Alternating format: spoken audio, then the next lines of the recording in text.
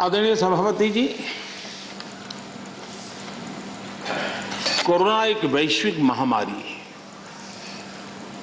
और पिछले सौ साल में मानव जात ने इतना बड़ा संकट नहीं देखा है। और संकट की तीव्रता देखिए। माँ बीमार है एक कमरे में, लेकिन बेटा उस कमरे में प्रवेश न कर पाए। पूरे मानव जात के लिए ये कितना बड़ा संकट था। और अभी भी ये संकट बहुरूपिया है। नए नए रंग रूप लेकर के कभी न कभी कुछ न कुछ आफतें लेकर के आता है। और पूरा देश और पूरी दुनिया, पूरी मानव जात उससे जूझ रही है। हर कोई रास्ते खोज रहे हैं।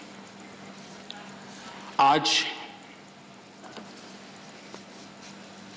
130 देश करोड़ के भारत के लिए दुनिया में जब प्रारंभिक कोरोना का प्रारंभ हुआ, चर्चा यही थी भारत का क्या होगा।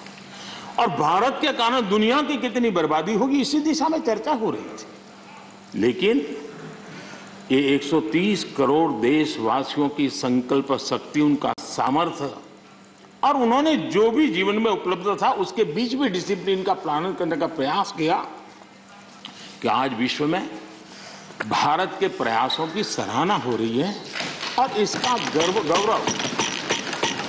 ये किसी राजनीतिक दल का कार्यक्रम नहीं था। ये अचीवमेंट देश का है। 130 करोड़ देशवासियों का है। अच्छा होता।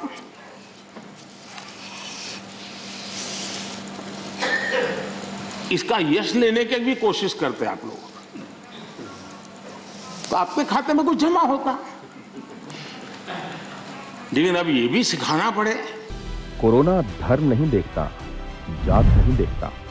अमीर, गरीब, ऊंच, नीच नहीं देखता कोरोना। कोरोना सिर्फ़ मौका देखता है।